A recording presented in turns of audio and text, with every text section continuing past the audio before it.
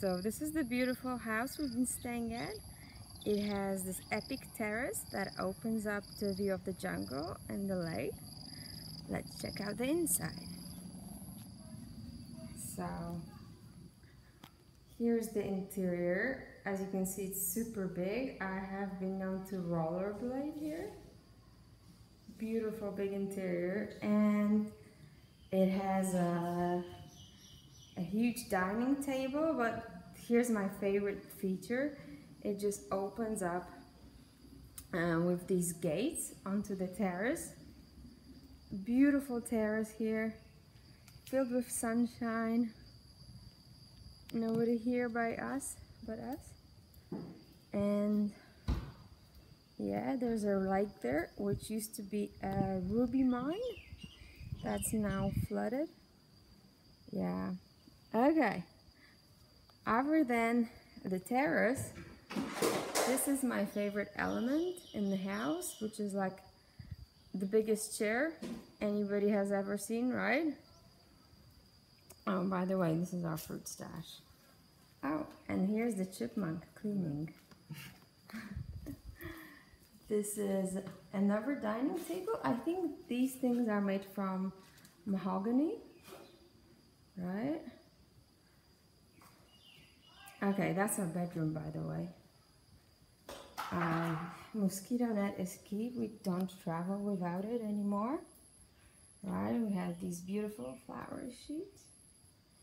And here's just our stuff. Fan, of course. Back to the house.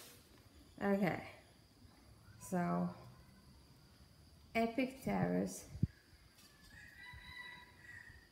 Some nice pieces of furniture. And here's the thing. It has not one, but two kitchens. It has what the Thai call a clean kitchen, the cooking stove. And then my favorite kitchen is the hardcore kitchen, which is basically an outside kitchen, right? Look how well organized it is. So cute. By the way, I love I love the Portuguese tiles or the Moroccan tiles. And so here is the chipmunk again. And here's the outside kitchen. You can do all your hardcore stuff and it's fully equipped. You have like some time uh, mortars there, knives, chopping boards, everything. How can you not love it? Right?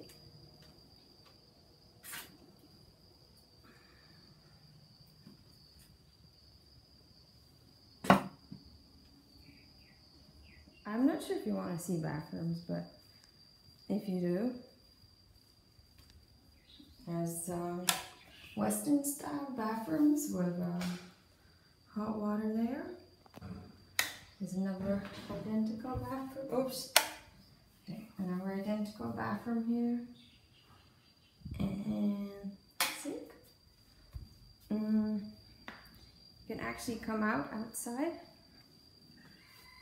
and here's like a little area where we dry our clothes and let's see the upstairs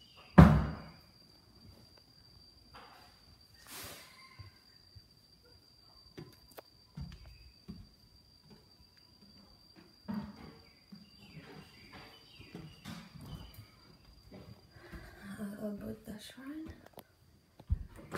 Mm. Upstairs is um, more bedrooms.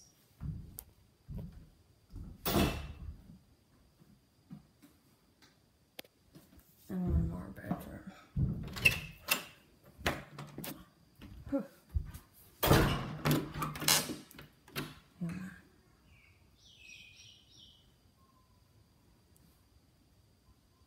Okay, I think we're finished I think you've seen everything.